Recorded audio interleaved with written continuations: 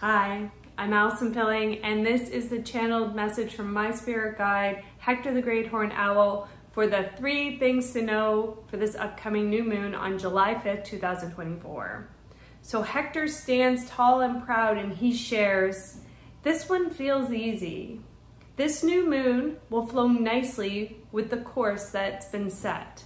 The three things to know about this July 5th new moon are number one, don't take things, including yourself, so seriously. Lighten up and have some fun. Number two, relax into it. The days are naturally longer, so it gives the illusion of more time. Use this to your advantage and be in the moment. Be present. Take it all in without worrying about what comes next.